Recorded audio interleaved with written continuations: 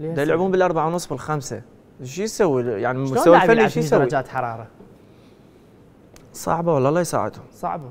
الله يساعده ما أعرف شو. أنا أتذكر لعبت آخر لعبة الجويه ويا كربلاء بملعب الجويه هم بالأربعة ونص كان الموسم أخذنا بالدوري مم.